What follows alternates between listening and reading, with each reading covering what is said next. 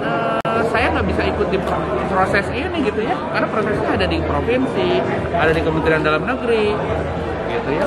Saya nggak partai pengusung ya termasuk partai juga gitu ya. Nggak tahu saya nggak tahu. Kalau untuk informasi pelantikan kapan katanya Pak? Saya belum dapat ya nggak tahu ya, belum dapat. nanti Pak seandainya memang benar-benar sampai akhirnya Bapak dilantik sendirian di Kota Bandung Gak ada wakilnya gimana? nggak ada wakilnya Siapa? Ya kan gini, ini kan jalan hidup. Saya juga nggak pernah tahu tiba-tiba saya seperti ini gitu. Jadi saya harus jalani, harus dengan segala konsekuensinya gitu. Ya kalau sekarang lelah iyalah gitu ya.